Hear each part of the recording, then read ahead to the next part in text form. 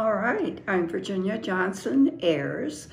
Uh, I grew up, I actually was born in Texas. My father was in medical school in Dallas, uh, but most of my growing up years were in northern Pennsylvania in a little town called Coudersport.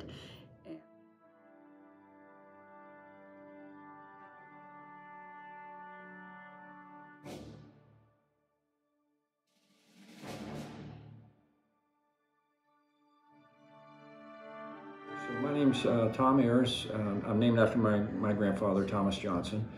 And um, I was uh, an Air Force pilot. Started out as a civil engineer and then went to pilot training. Uh, I uh, flew airlift initially, uh, the C-141. Uh, I'm a commercial airline pilot. I fly for FedEx, so I'm a 767 captain.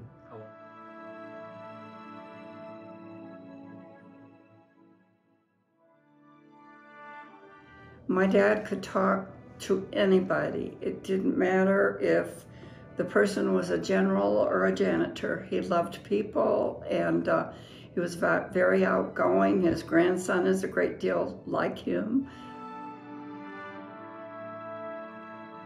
Because he had graduated from Baylor oh, as, as a, an MD, you know, a physician.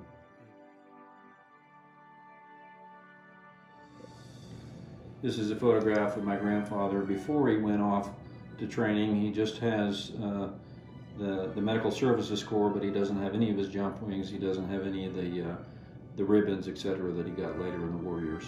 Um, he was a very detail-oriented guy. Um, he was said to have had nearly a photographic memory. Uh, he was a very good artist. Um, so we have an extraordinary record of his service dating back from when he entered in the summer of 43 through the war years and even after the war years. Uh, we have a number of uh, mementos here that are just incredible as a collection. So this document uh, on the left that John is showing is uh, some quick drawings my grandfather did while he was assigned at Fort Benning going through jump school. And you can see on the top the ledger of Fort Benning, Georgia. They still have those same jump towers there. Uh, I've done or did a number of airdrop missions with basic airborne trainees uh, when I was uh, an airlift pilot, so that's kind of cool. You can see the jump towers here, and then he, uh, in his typical fashion, wrote out all the entire process essentially of going through the training program there at Benning until he was winged. Yeah, as he progressed into the medical corps, then, of course, he was um, called to go overseas. And uh, that's when um, we have we have a picture here of the day that he left on the train. And uh, after that, um, I think he, well, I know we were in Carlisle, and as a little girl, we lived in Carlisle for a short time for training, for his training before the war.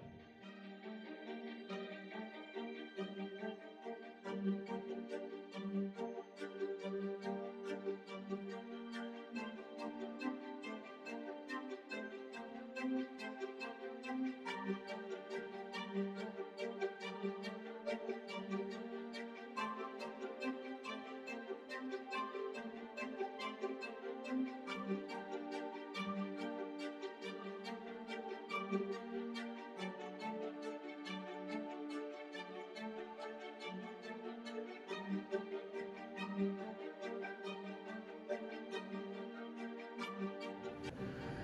this is the original ID card for my grandfather. You can see uh, him as a first lieutenant uh, in the Medical Services Corps. These are fingerprints here. And then it's got his, uh, his information at the top from the War Department. And these IDs were folding IDs. And uh, you can see, and there's the exterior skin of the ID itself. This is a uh, jump. It appears to be a training jump. I suspect it was at Fort Benning, Georgia when he was going through his jump certification.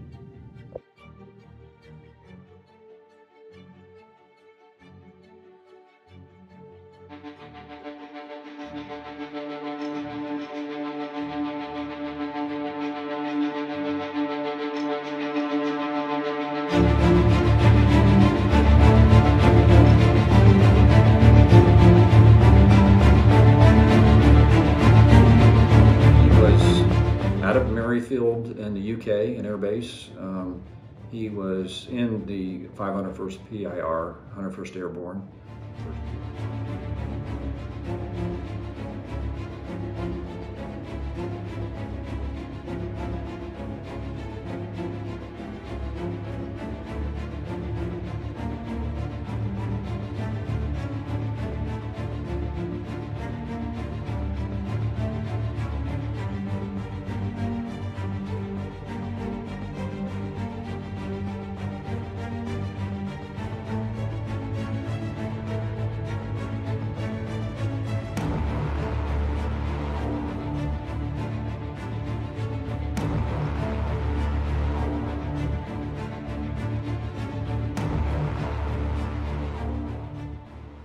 He dropped on a serial uh, 14. It was operated by the 441st Troop Carrier Group. Uh, there were 16 aircraft in that formation. Um, and they took off, came in over the coast. They were supposed to drop on a DZ north of Carentan. Um, one aircraft was shot out of the sky. It was a loose uh, visual fingertip formation uh, that kind of went to hell uh, as soon as they came into the weather and the AAA uh, and it, it scattered um, and the chaos ensued.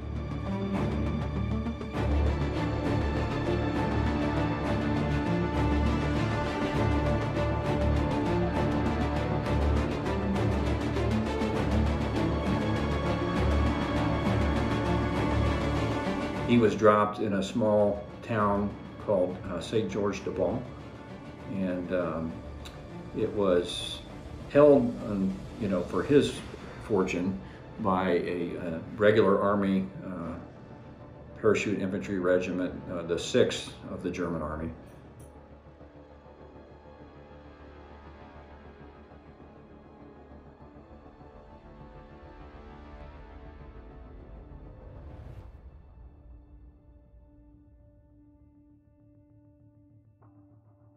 Yes, so there were two adjacent villages. His serial 16 aircraft scattered the jumpers over St. George de Bon and into uh, uh, an adjacent town.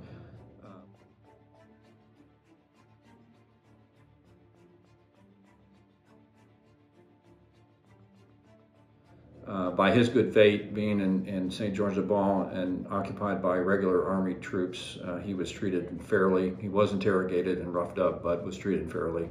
Uh, those in serial that landed in Graignes were summarily executed by the SS. It was occupied by SS troops, and many of the French villagers that hid them were also killed. My fellow Americans, last night when I spoke with you about the fall of Rome, I knew at that moment that troops of the United States and our allies were crossing the Channel in another and greater operation. It has come to pass with success thus far.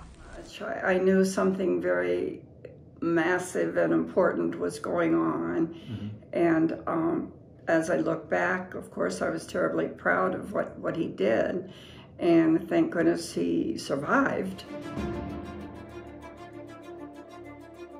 He was taken prisoner almost immediately and uh, sent, um, as we said, to um, this where this church was, and he was interrogated in the church. This, this is the church.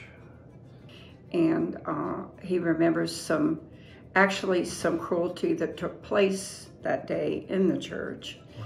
And uh, but the German officer, uh, we'll find out later, uh, was an interesting gentleman that interrogated him and uh, went by, you know, the rules of war. This is a letter by a gentleman by the name of Martin Poppel, and uh, he was a company commander in the 6th PIR in the German Army, and he is the one that interrogated my grandfather in a church in St. George de Bon. And uh, the overall theme of the letter is basically um, a lot of years have gone by. I'm glad to see that we're allies, and I meant no harm.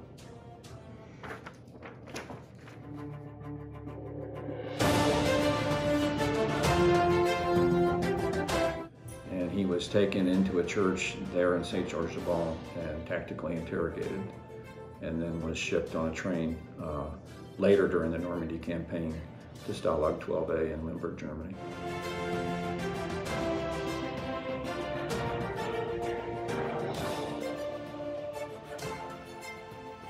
They were put on board train trains and taken to various prison camps.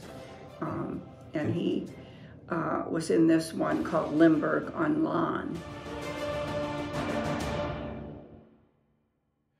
So this is a pieced together map, uh, typical of my grandfather, chronologing essentially his movement uh, over the course of the Normandy campaign from uh, St. George de Beaune with multiple stops along the way, all the way until he got to Stalag 12A. And after the war years, it so impacted everything about him that he chronologed by date every single stop and every single experience to include being strafed numerous times by U.S. aircraft. And, and his bravery, of course, was unmatched. Um, he spoke fluent German. Uh, he was a go-between, as we understand it, between the guards and the prisoners. Um, at the 50th anniversary, mom had a visitor come up and said, hey, you know, your dad saved my life. When he was captured on D-Day until liberation.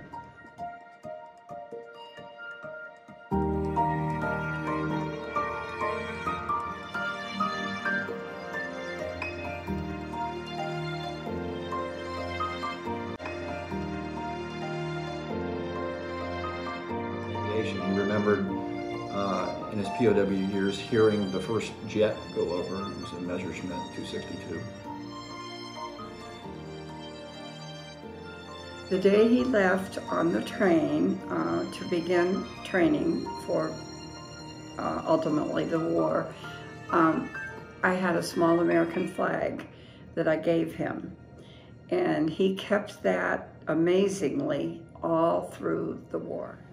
This is uh, a picture of my mom when she was five years old with her grandmother, uh, his mother-in-law, and he is getting ready to board to go off to training. So this is the moment, essentially, that my mother gave him the flag that we talked about earlier. And I suspect he's holding that flag at his waist right here. You just can't see that.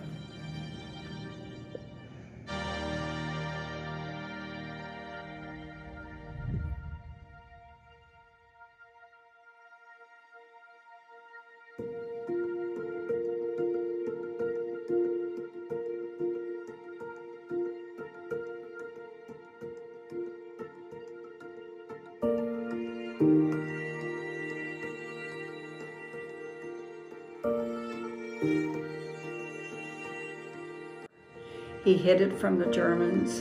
I do remember one story. He pretended to blow his nose in it. So they weren't interested in taking it, you know, from him because of that. And uh, he, I don't know where he hid it all that time. He just managed to get it inside his clothing or uniform or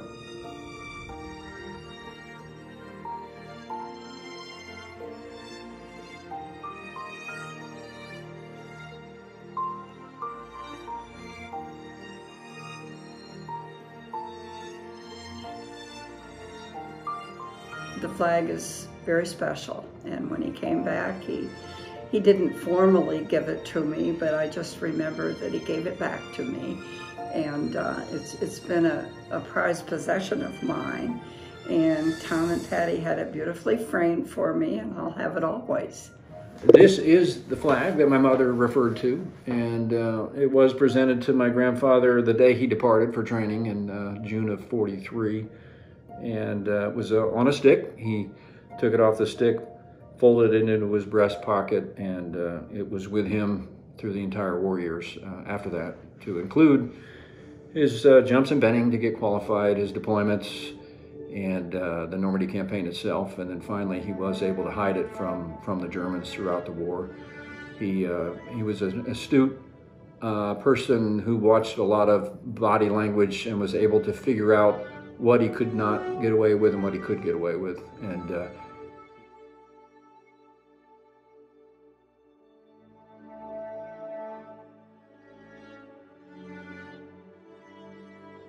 he would uh, he knew that the Germans at the time were very afraid of disease, so he would wrap that into a handkerchief.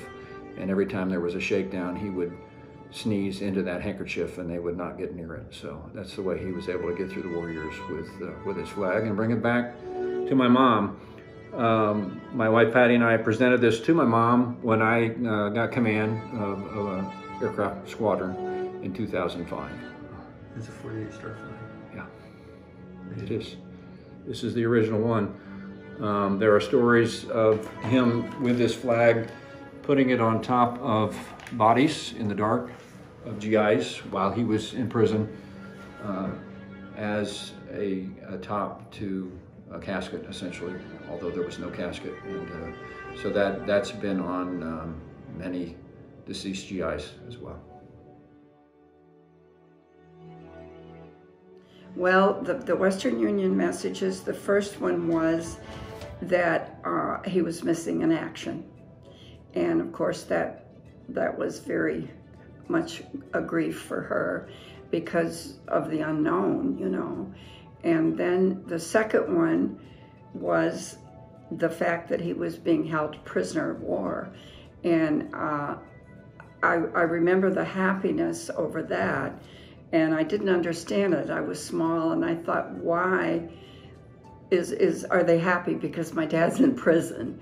But I, I was too young to, to really understand. And of course now I, or in years later, I realized that meant that he, he was alive.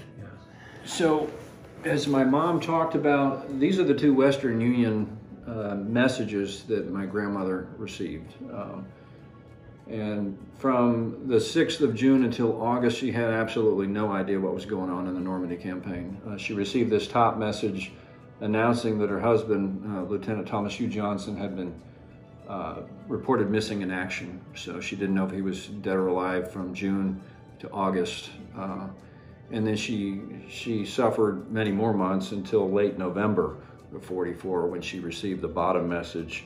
And these are the original messages um, that he was a prisoner of in Stalag 12A. And uh, at that point, she knew he had survived, at least survived up to that point. So I'm sure that was quite a relief. But to think about uh, a mother of two with no knowledge of her husband whatsoever uh, from June to November is just stunning in this day and age. So. This is a framed photograph of my grandmother and uh, my mom on the left holding a doll, and my uncle Fred, who was about 18 months, we believe, at the time of the photograph. They had made a, snowman in their backyard in Coudersport, Pennsylvania, and put an army uniform on that snowman to depict my grandfather, who was off to war. Was he in captivity at this time? At that time, he would have been in captivity. That's correct. That was the uh, late 43, uh, excuse me, late 44, early 45. So they knew he was a POW at that point, but uh, didn't know anything else.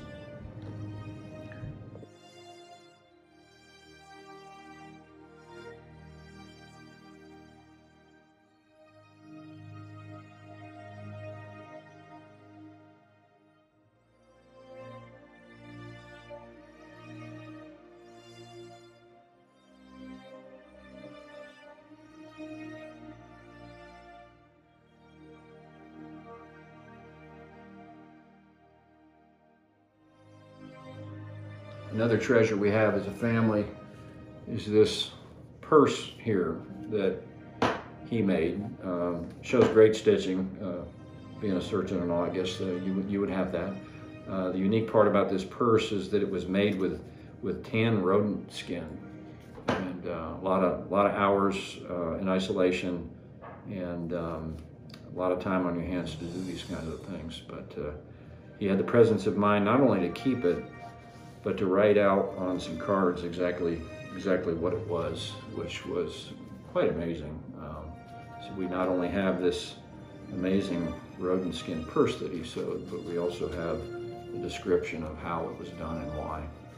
And these are the originals that I've put on top, uh, and these were drawn by my grandfather.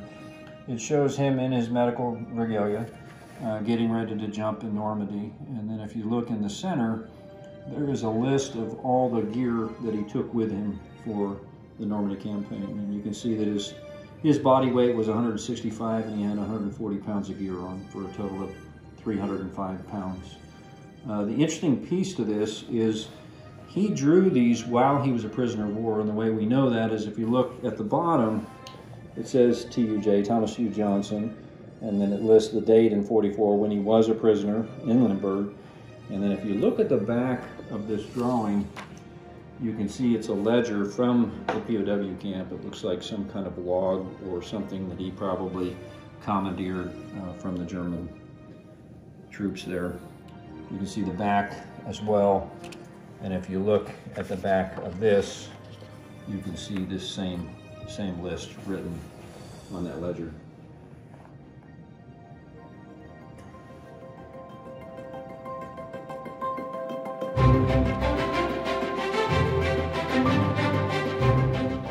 Do have a, a odd little memory of um, we went to church one day and there was a gentleman in full army uniform attending the service.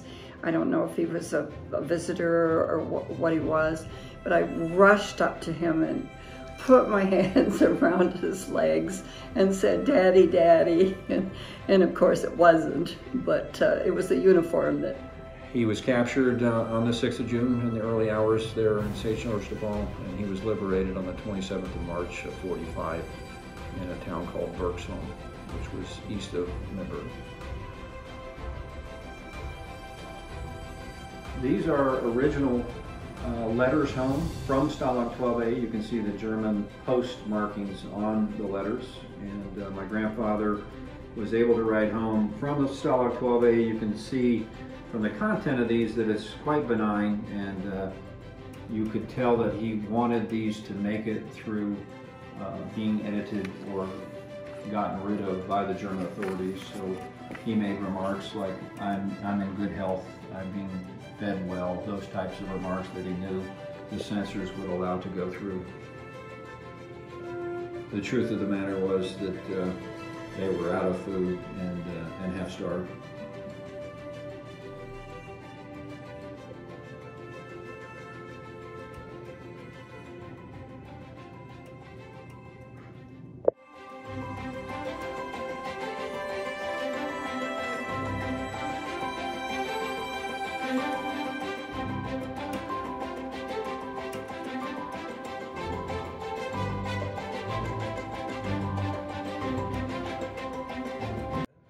So these photographs are from an article in a publication called The Checkerboard from a friend of my grandfather's, Mr. Tobias, who was the medical officer who rescued my grandfather. And these photographs were taken during the rescue in Berg's home, which was renamed Solm. Um, and uh, I was able to, re to relocate Solm over the years, uh, found the location, drove to location, and uh, walked down to the train station and saw the same hills and the same apple orchards uh, that these POWs had been at. It was uh, it was quite mind blowing because I felt like I'd already been there in many ways. And they basically just parked the train and opened the doors. They did. The German rail crew knew that Germany was collapsing. There were several cases of diphtheria. A number of people were dying.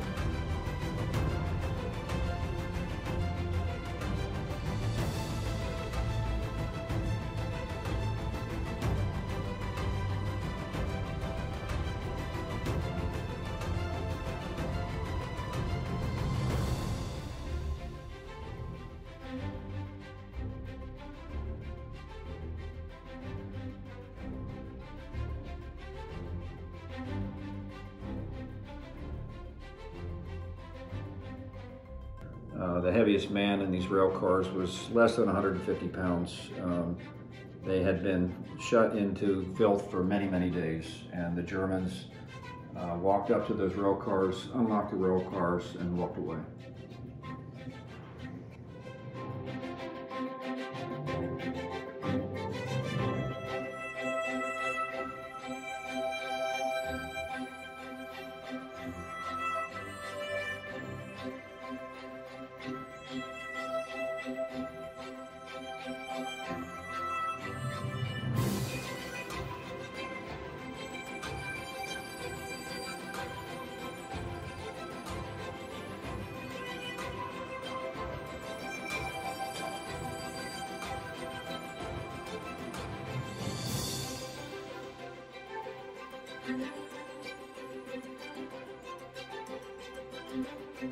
Thank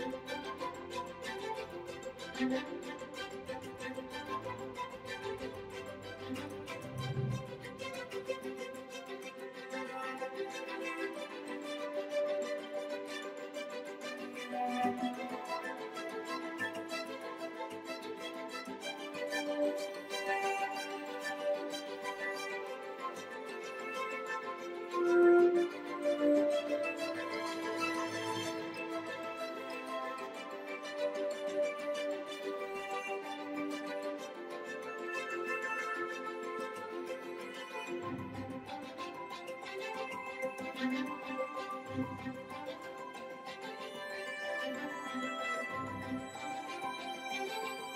Of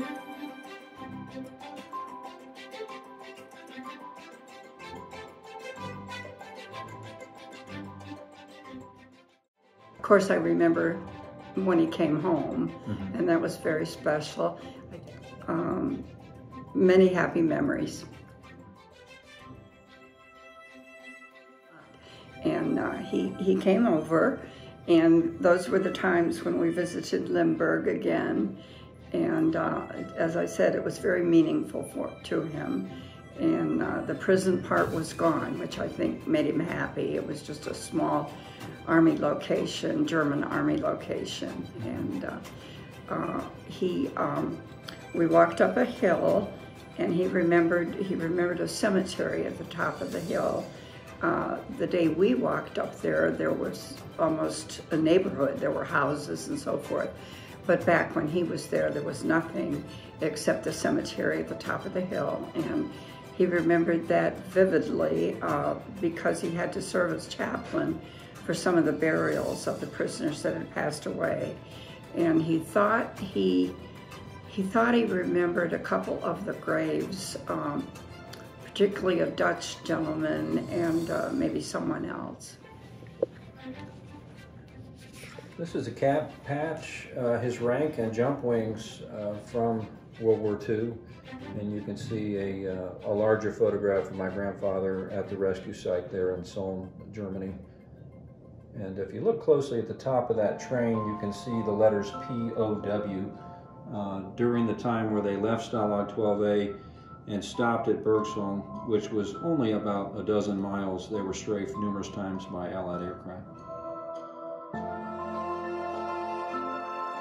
When he was liberated, uh, there was a medical officer uh, named uh, Dr. Tobias who took a picture of him on this overpass in Bergsholm.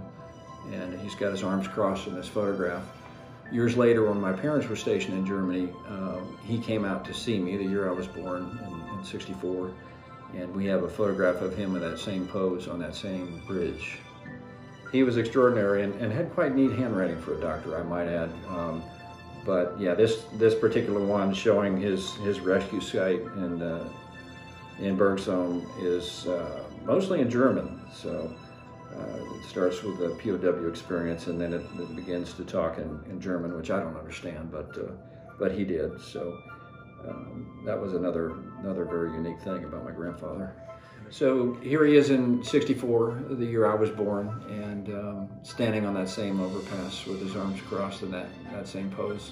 So he went back to that, that, that location. He did. I'm sure it was a very, very special spot for him. I'm sure that was very meaningful to stand on that bridge and have, have his photo taken, you know, in the same crossed arm position. So this is um, me as a, as a colonel uh, when I was stationed at USACA headquarters in Germany, and uh, that is on that same bridge. That's great. It's a great connection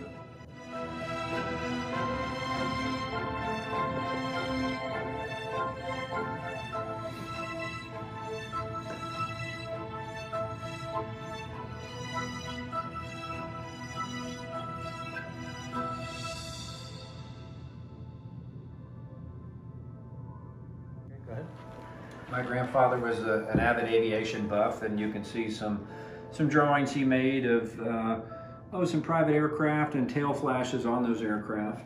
And uh, he was a man of many details. Was a private pilot himself, and, uh, owned an aircraft. So um, it's unique for me as a pilot to see these things and to see his uh, his interest in aviation. Uh, He was an aircraft owner after the war, had a private pilot license. Um, So, you know, I like to think that maybe that's where I got my aviation bug. Yeah. But uh, So this is my grandfather in the post-war years at an air show with uh, a friend of his who was a Navy fighter pilot in World War II. His name was uh, Paul Matier. And uh, my grandfather was getting ready to jump in an air show. And you can see uh, Mr. Paul Matier helping him with his rigging before he uh, went to go fly and, and jump from an aircraft. Uh, after the war, when he came home, uh, they took a they took a boat trip that they enjoyed a lot, and uh, he did have um, about a two or three year time in a nearby town where he took a physician's job. Uh, an older man had retired and they needed a doctor. He never smiled for pictures, and it was funny because um, th- there's one that he he liked to write on the back of his pictures. Thank goodness, the usually the the date and the situation. And uh, uh, on one of them, on the back of it, he said, "I'm not mad at anybody, damn it." but So, um, as my mother likes to joke, he, he did not like to smile a lot in pictures, so he always caught a lot of grief from my grandmother on that. Um, you know, I look look at the uniform and uh, and into the eyes, and you can see a very complicated man, very intelligent man, um, and a very meticulous man. His his uniform is absolutely perfect. So, and that's the way he rolled. this is his uniform. This is a uniform that he drew out as a photograph, uh, photocopy, excuse me. But it is my grandfather, by memory, um, writing out um, basically the depiction of his uniform and all the regalia on the uniform.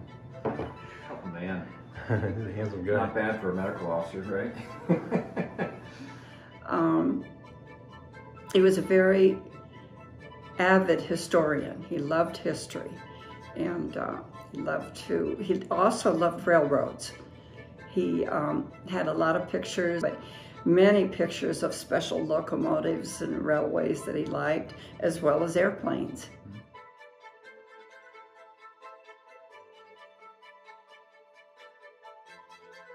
He's in Gettysburg. Gettysburg was one of his favorite spots. He was an avid Civil War fan, and uh, he that those were his wishes, and we were glad that we made that possible.